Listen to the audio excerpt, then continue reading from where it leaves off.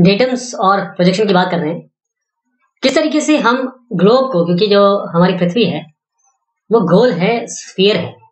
इसको हम चाहते हैं कि किसी तरीके से अपने दो डायमेंशन सरफेस में ला पाए। इसको हम मैप बना सकें।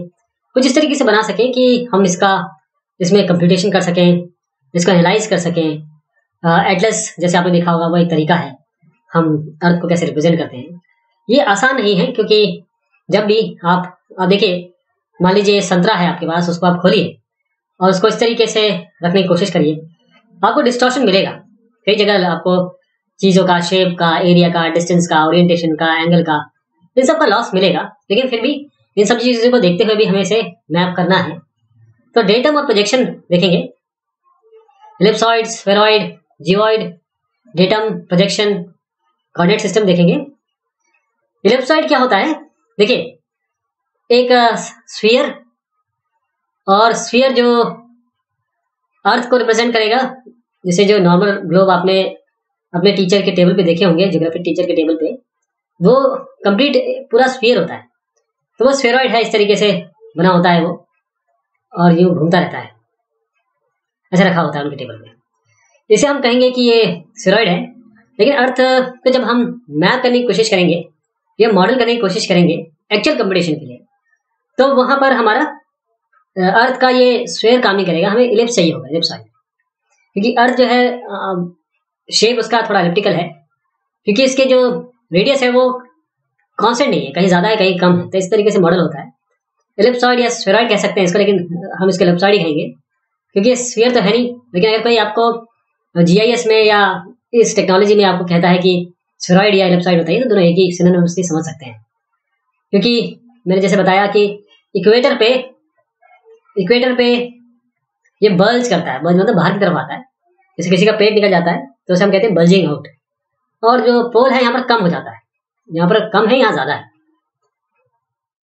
जो फ्लैटनिंग है, वो करीबन 22 इक्कीस दशमलव पाँच किलोमीटर है। पोलार रेडियस अगर आप देखें और इक्वेटोरियल रेडियस अंदर का डिफरेंस लें तो करीबन इक्कीस दशमलव पाँच किलोमीटर डिफरेंस आता है। एलिप्सॉइड मॉडल uh, इसलिए करते हैं कि हम चाहते हैं कि जो रेंज ऑफ़ बियरिंग कैलकुलेशन हो लार्ज डिस्टेंसेस पे वो हम कर सकें। और uh, हम शेप uh, को एक स्मूथ सरफेस की तरह मॉडल कर सकें। तो इलिप्सॉइड देखिए इलिप्सॉइड है जो हम अर्थ को मॉडल करते हैं। अर्थ है अब इसको हमने कहा कि हम इस एलिप्सॉइड से मॉडल कर रहे हैं।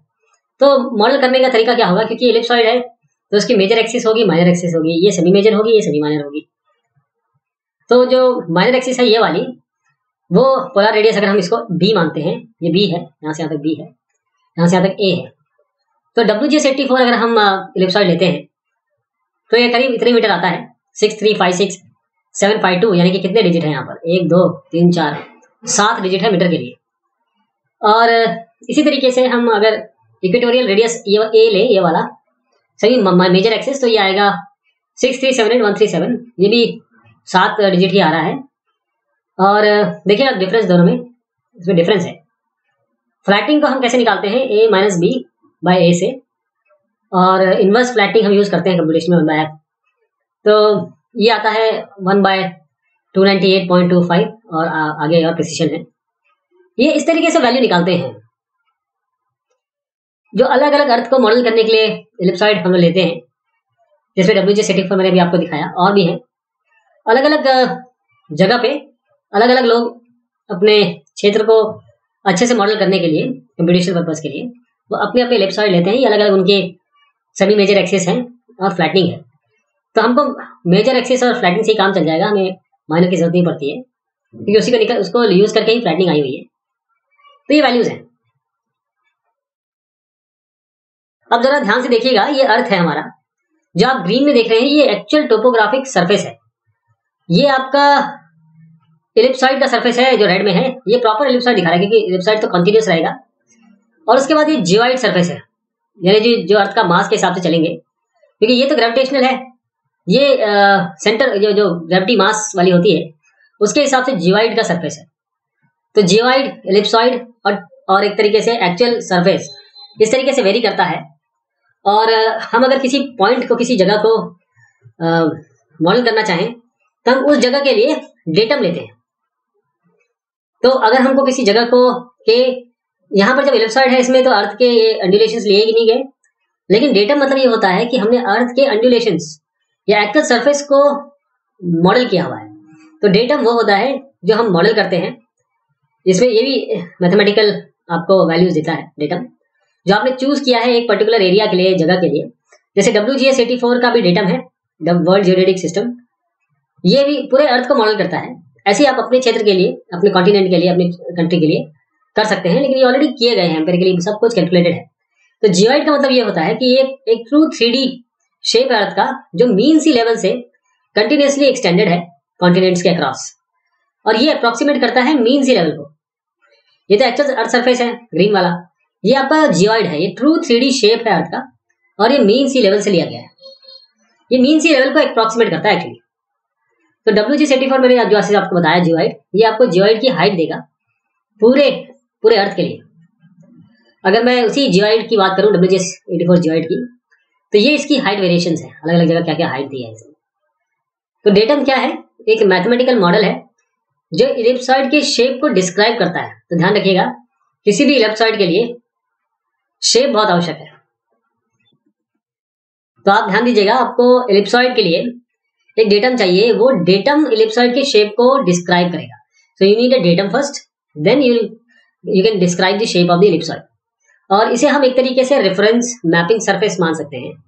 और ये शेप और साइज़ अर्थ का, साथ में ओरिजिन और ओरिएंटेशन कोऑर्डिनेट सिस्टम का, ये डिफाइन करेगा डेटम और अलग अलग हमारे पास डेटम्स हैं। और डेटम जो है वो बेसिस है कोऑर्डिनेट सिस्टम का, ध्यान दीजिएगा। डेटम ही बेसिस है कोऑर्डिनेट सिस्टम का। और बहुत सारे आपको डेटम मिल रहे हैं। अगर आप डेटम गलत ले लेते हैं तो बहुत आपको एरर आएगा हंड्रेड ऑफ़ मीटर्स का एरर आ है तो अगर आप मान लीजिए कि आपने डेटम इनमें से कोई लिया, ये नॉर्थ अमेरिकन डेटम है लेडी ये वर्ल्ड वाइड यूज़ हो रहा है डब्ल्यू जे सिटी फोर तो डेटम होगा डेटम के बाद आप स्वेरॉइड होगा। यानी डेटम उस एरिया के लिए, जो उस एरिया के शेप को मॉडल करेगा उसके बाद स्फेरॉइड होगा, जो एक्चुअल स्फीयर होगा। और ये डेटम इसके, इसको, इसके कोऑर्डिनेट सिस्टम्स को डिफाइन करके स्फेरॉइड स्फेरॉइड की कंप्यूटेशन करेगा। तो you need datum always for a spheroid तो ये सब अलग अलग आपके पास अवेलेबल है। जैसे जीपीएस किस पे बेस्ड है? डब्ल्यू जी सिस्टम पे। जैसे जीआरएस आप देख रहे हैं नाइनटीन एटी ये अर्थ के शेप को डिफाइन करते हैं। आप, जो सेंटर ऑफ़ मार्स है अर्थ का, उसको ध्यान में रखते हुए ये ट्रायंगुलेशन से जो प्रस्पेक्टिव है आउटसाइड परस्पेक्टिव इसको मॉडल करते हैं। और प्रोजेक्शन का मतलब समझिएगा कि अगर आपको कर्व सरफेस से फ्लैट सरफेस पे ले जाना है तो आपको प्रोजेक्ट करना पड़ेगा। तो जैसे मैंने आपको स्टार्टिंग में बताया था कि जब भी आप प्रोजेक्शन लेंगे तो आपको डिस्टॉर्शन मिलेगा। चीज़ें प्रिजर्व नहीं होगी और जो चीज़ प्रिजर्व नहीं हो पाती है, वो डिस्टेंस है डायरेक्शन है स्केल है एरिया है शेप लेकिन कुछ ऐसे प्रोजेक्शन हैं जिसमें डिस्टेंस प्रिजर्व होता है, कुछ ऐसे जिसमें डायरेक्शन है। इस तरीके से किसी किसी में कोई कोई चीज़ें आपकी रिज़ल्ट हो जाती है, उस हिसाब से आपको प्रोजेक्शन चूज़ करना है और लेना है। डिपेंड करता है आपका काम क्या है, आपको डिस्टेंस मेजर करना है, आपको किसी जगह का शेप मेजर करना है या उस पर ध्यान देना है। तो आपको ये देखना है कि कौन सा पैरामीटर आपके लिए इंपॉर्टेंट है। और प्रोजेक्शन ये अलग अलग डेटम के साथ यूज़ कर सकते हैं आप, क्योंकि पहले तो आपको अर्थ को मॉडल करना है। तो सबसे पहले हम डेटम लेंगे, उस डेटम के हिसाब से हम इलिप्सॉइड डिफाइन करेंगे। उस इलिप्सॉइड के हिसाब से फिर हम प्रोजेक्शन करेंगे। ये अलग अलग पहले डेटम फिर आपका इलिप्सॉइड और उसके बाद प्रोजेक्शन होगा। तो अब देखिए, एक अर्थ को हम कैसे प्रोजेक्ट करते हैं। तो तीन तरीके हो सकते हैं इसके मेनली आप मानते हैं कि अर्थ की सरफेस में के अंदर मतलब देखो सेंटर पे एक लाइट सोर्स रखा हुआ है। और उसके ऊपर हम ऐसे प्लानर सरफेस रख सकते हैं कोन रख सकते हैं, जैसे जो बर्थडे के समय आप सर पे टोपी पहनते हैं। वैसा कोन या फिर जिसमें आइसक्रीम खाते हैं कोन आइसक्रीम या सिलेंडर तो ऐसे करके आप रख सकते हैं और यहाँ से हमारी लाइट जग जाएगी इस पर तो मान लीजिए ये आपकी लैटिट्यूड है ये लॉन्जिट्यूड है ऐसे। ये लैटिट्यूड्स हैं जिन्हें हम पैरलेस भी कहते हैं और लॉन्गिट्यूड जिन्हें हम मेरिडियंस भी कहते हैं। तो प्राइम मेरिडियन भी, भी हमारे पास जो ग्रेनिस से जाता है इक्वेटर जो है सेंटर से जाता है। तो ये इसको हम स्टैंडर्ड पैरेलल करते हैं बाकी सबको पैरेलल कहते हैं। तो ये जो आपके पास अलग अलग पेन है इस पे जब ये लाइट के लाइट जब इन पे टकराएगी और जब ये प्रोजेक्ट हो जाएँगे मतलब जो ये आप देख रहे हैं इसमें मान लीजिए मैंने ये एक इक्वेटर बनाया। अब जब ये इस पे प्रोजेक्ट होगी तो अलग इस पे ऐसे तरीके से प्रोजेक्ट हो सकती है इस पे। फिर इसको काट के खोल देंगे। इनको काट के खोल देंगे। फिर देखेंगे कि किस तरीके से ये प्रोजेक्टेड लाइन आ रही है। इसे ही प्रोजेक्शन कहते हैं। तो इसके अलावा जैसे हमने अभी देखा तीन टाइप के प्रोजेक्शन जैसे हम कह रहे हैं प्लानर कह रहे हैं, जैसे मेजिमथल भी कहते हैं कोनिक प्रोजेक्शन है सिलेंड्रिकल प्रोजेक्शन है। इसके अलावा हमारे पास और प्रोजेक्शन है, जैसे सीडो सिलेंड्रिकल है। अनप्रोजेक्टेड है, यानी कि आपने प्रोजेक्ट नहीं किया है सर्कुलर ही रखा है मतलब अर्थोस्फेरिकली रखा है। और लेटीट्यूड लॉन्गिट्यूड से हम डिफाइन करते हैं। जैसे हम जीसीएस कहते हैं जियोग्राफिकल कोऑर्डिनेट सिस्टम और हम जब प्लानर के बारे में बात करते हैं, जैसे हमने जो प्लानर एजिमुथल सिलेंड्रिकल और कॉनिकल लिया, वो हम पीसीएस प्रोजेक्टेड कोऑर्डिनेट सिस्टम की बात कर रहे हैं। तो कितने सारे प्रोजेक्शन है हमारे पास? अब देखिए, जैसे ये सिलेंड्रिकल है, अब ये सिलेंड्रिकल क्या है? एक टेंजेंट पे टच कर सकता है, ये अंदर भी काट सकता है। तो इसको हम सीकेंड कहते हैं, इसको हम टेंजेंट कहते हैं। तो सिलेंड्रिकल ये पूरे वर्ल्ड के लिए यूज़ हो सकता है, जिसमें पैरेलल और जो, ये जो पैरेलल्स हैं, ये, जिसे हम लैटिट्यूड कह रहे हैं और लॉन्गिट्यूड जिसे हम मेरिडियंस कह रहे हैं। ये दोनों इस पे प्रोजेक्ट होंगी और ये स्ट्रेट लाइन की तरह होती है। जैसे ये देखिए आप। सिलेंड्रिकल प्रोजेक्शन में ये लाइनें बन जाएँगी स्ट्रेट लाइन अगर कोई छोटा एरिया लेंगे तो उसमें शेप और एंगल आपको प्रिजर्व मिलेगा। Around seven point five chord पे सेवन पॉइंट फाइव डिग्री की बात कर रहा हूँ मैं। और अगर डिस्टेंस है वो केवल इक्वेटर पे आपको सही मिलेगा, क्योंकि यहीं पे टेंजेंट टच कर रही है पर ना? आपका जो सिलेंडर है वो टच करता है, इसलिए आपको डिस्टेंस इक्वेटर पे ट्रू मिलेगी। कोनिकल प्रोजेक्शन की जहाँ तक बात है कोनिकल टच भी कर सकता है, ऐसे अंदर की तरफ़ दो जगह काट सकता है। तो इसको कोनिकल प्रोजेक्शन सरफेस कहते हैं, इसको सेकेंड कोनिक प्रोजेक्शन कहते हैं। और ये एक एरिया को, एक हेमिस्फीयर को आराम से डिफाइन कर सकता है। इसलिए हम पॉलिकोनिक यूज़ करते हैं।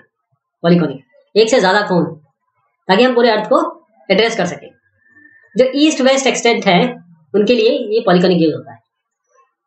और, हमारे देश में, हिंदुस्तान में, पहले पॉलिकोनिक ही यूज़ करते थे, अब हम लोग शिफ्ट खासतौर पर सर्वे ऑफ़ इंडिया की बात करें तो अब हम शिफ्ट हो गए डब्ल्यू जी एटी फोर पे। पहले हम पॉलिकोनिक ही यूज़ करते थे, जो हमारा एवरेस्ट इलिप्सॉइड हम यूज़ करते थे। लेकिन अब, हम सिलेंडर पे आ गए हैं।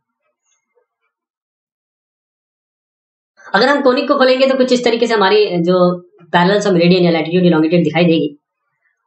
इसमें अलग अलग आपको मैप्स मिल सकते हैं। और जैसे ये सेकेंड टू स्टैंडर्ड पैरेलल है, ये स्केल और डिस्टेंस में डिस्टॉर्ट हो जाता है। जो स्टैंडर्ड पैरेलल है उसको छोड़ के जहाँ पर ये टच कर रहा है। एरिया प्रोपोर्शनल होते हैं एक दूसरे के और डायरेक्शन ट्रू है लिमिटेड एरिया पे। ऐसा प्लानर लेंगे किसी एक प्लेन के हिसाब से, जिसे हम ऑर्थोग्राफिक भी कहते हैं एजीमुथल तो एक प्लानर अगर आपका प्रोजेक्शन सरफेस है और उसमें आप ऑर्थोग्राफिक प्रोजेक्शन से लेंगे तो एयर रूट वगैरह के लिए इस्तेमाल होता है।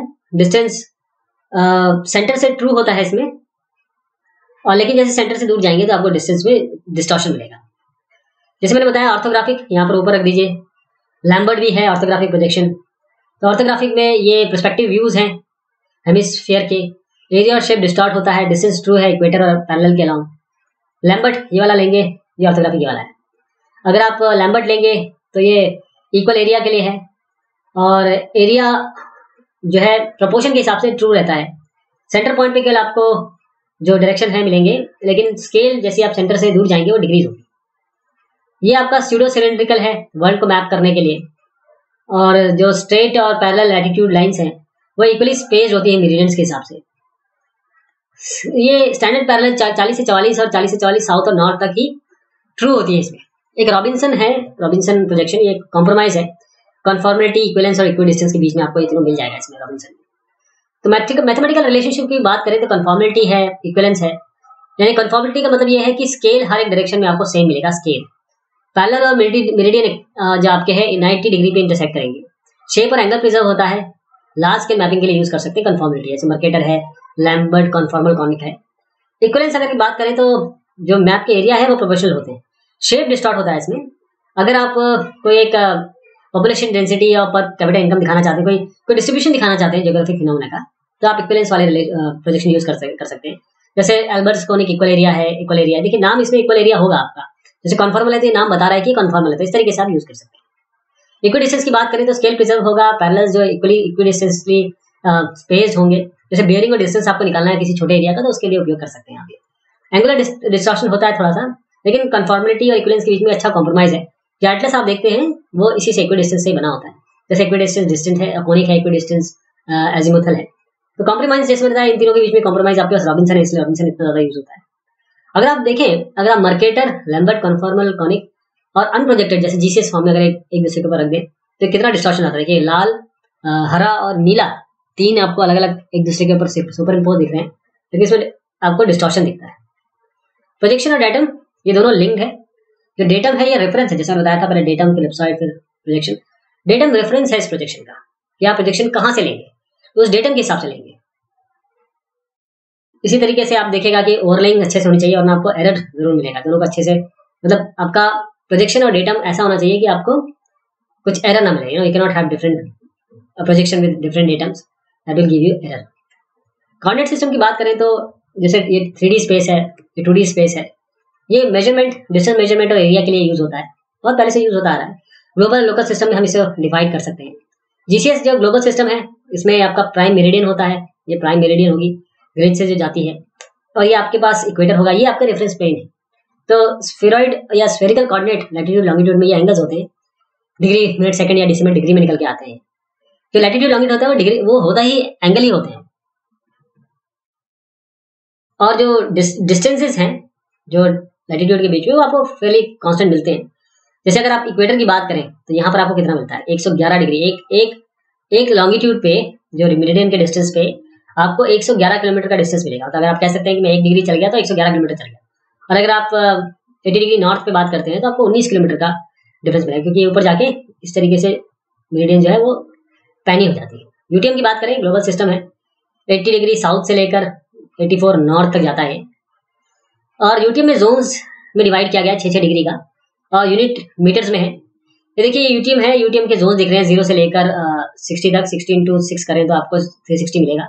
तीन सौ साठ डिग्री आपको पूरा कवरेज रखता है। ये अलग अलग यूटीएम के जोन डिस्क्रिप्टर्स है एक्स से लेकर सी आई और ओ इसमें नहीं मिलेंगे आपको क्योंकि वन और ज़ीरो के साथ कभी कॉम्प्लिकेट हो जाते हैं तो आई और ओ को पर्पसफुली यहाँ से हटा दिया गया एक अगर मैं यहाँ से स्ट्रिप उठाऊं तो ये एक स्ट्रिप इस तरीके से दिखती है, पूरा एक जोन ये जोन में आपको देखिए फॉल्स ईस्टिंग और फॉल्स नॉर्थिंग डाली गई है, ताकि आपको जो नंबर्स हैं, वो जो कंप्यूटेशन है, क्योंकि बहुत बड़े बड़े डिस्टेंसेस है, वो आपको नेगेटिव में ना मिले। फॉल्स फॉल्स ईस्टिंग और फॉल्स नॉर्थिंग डाली गई है, इसलिए आपको ये नंबर जो है बहुत बड़े बड़े मिलता है। ईस्टिंग और नॉर्थिंग ईस्टिंग आपको, पहले तो जोन लिखा जाता है इसके लिए। जोन ये कोई भी हो सकता है। अब जोन क्या है कि एन और नॉर्थ भी हो सकता है और साउथ भी हो सकता है। तो अगर आप जैसे यहाँ पर है और इस जगह पे है, जैसे मैं ये फोर्टीन जोन ले लेता हूँ। तो फोर्टीन जोन में अगर आप इस इसके ऊपर है तो आप एन कहलाएँगे। जैसे मान लीजिए फोर्टीन एन का कहलाएँगे। अगर नीचे हैं, इसके नीचे तो फोर्टीन एस लिखना होगा। फिर उसके बाद आप जिस जगह पे हैं, मान लीजिए जिस जगह पे हैं तो यहाँ से डिस्टेंस आपका अच्छा हर एक जोन का अपना अलग सेंटर मेरिडियन होता है इक्वेटर के हिसाब से। मतलब जो कॉर्डिनेट सिस्टम है, उसमें इक्वेटर आपके एक्स एक्सिस का काम करती है वाई एक्सिस को हम सेंटर मेरिडियन कहते हैं। यहाँ से डिस्टेंस कंप्यूट होता है। तो इस डिस्टेंस यहाँ जा रहे हैं, यहाँ जा रहे हैं, किस जगह पे हैं आप? तो इस कॉर्डिनेट रेफरेंस सिस्टम से आपको वैल्यू मिलती है और इस इस पॉइंट को कुछ वैल्यू दी गई है, जो मैं यहाँ बताना चाह रहा हूँ आपको। False easting false northing easting जो है, वो छह डिजिट में आती है नॉर्थिंग जो है, सात डिजिट में आती है। पहले हम ईस्टिंग लिखते हैं, फिर हम नॉर्थिंग लिखते हैं। तो आपको इस तरीके से अगर मिलेगा तो इसे हम यूटीएम कोऑर्डिनेट करेंगे तो अगर आप डेटा में या प्रोजेक्शन लेना चाहते हैं तो आपको देखना पड़ेगा कि आपका लोकेशन क्या एक्सटेंड क्या है। अलग अलग चाहे लैम्बर्ट हो, चाहे एल्बर्ट्स एरिया है, ये आपको अलग अलग जोन में अलग अलग एक्यूरेसी देंगे। और अगर आप नॉर्थ साउथ एक्सिस की एक्यूरेसी देखेंगे तो यूटीएम ले सकते हैं। लैम्बर्ट एजीमुथ ले सकते हैं, क्योंकि इसमें एरियल एक्यूरेसी होती है एरिया की, और इक्वल एरिया हर एक डायरेक्शन में आपको मिलेगा। तो इस तरीके से आप डेटा और प्रोजेक्शन को जानेंगे। देखिए, जो डेटा कोऑर्डिनेट सिस्टम प्रोजेक्शन है, इसमें अंतर है। और अगर करेंट डेटम और कोऑर्डिनेट सिस्टम प्रोजेक्शन लेते हैं तो आपका स्पेशल डेटा सेट आपका अच्छा बन सकता है अच्छा आप डिसाइड कर सकते हैं। तो ये मैंने कोशिश की आपको बताने की प्रोजेक्शन डेटम और क्या इसमें डिस्ट्रक्शन हो सकते हैं, कौन आप, कौन सा आपको यूज़ करना है और सब में अंतर क्या है। बहुत शुक्रिया, बहुत मेहरबानी आपसे।